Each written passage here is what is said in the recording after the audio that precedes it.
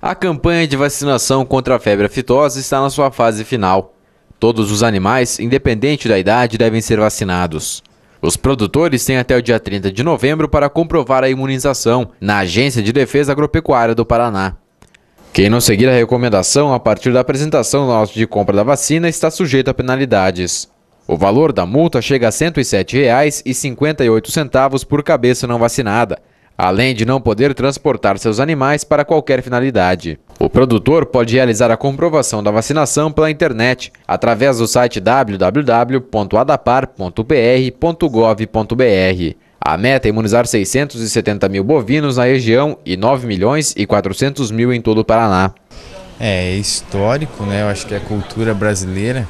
O produtor gosta de deixar para a última semana, né? Nós estamos aí fechando os relatórios de de final de campanha e a gente percebe ainda que falta muita gente vir até a unidade trazer o seu comprovante. Desses 670 mil, até o dia 20, onde a gente fez o fechamento do relatório né, parcial, é, apenas 34% dessa população bovina já tinha sido vacinada. Né? Então a gente vê aí um.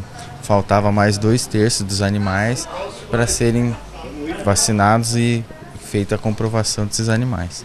Na última semana apenas.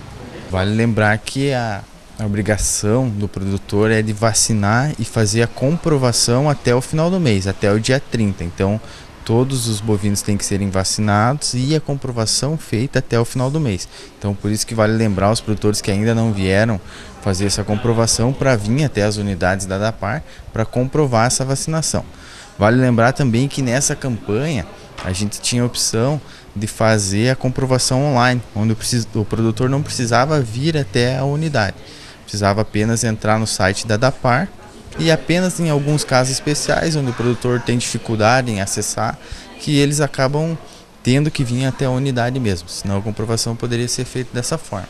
Essa vacinação ela é obrigatória e a comprovação também. Então, infelizmente, o produtor que deixar de vacinar ou que não trazer esse comprovante até as unidades da DAPAR até o final do mês, né, até o dia 30, ele passa a ser um infrator da, da legislação, né, e sujeito a penalidades legais, inclusive multa.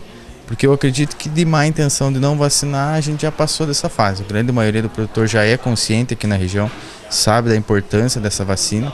Vacina mesmo, às vezes acontece algum caso de esquecer ou coisa assim, por isso que a gente sempre relembra, né? Para que eles vacinem e tragam seus comprovantes.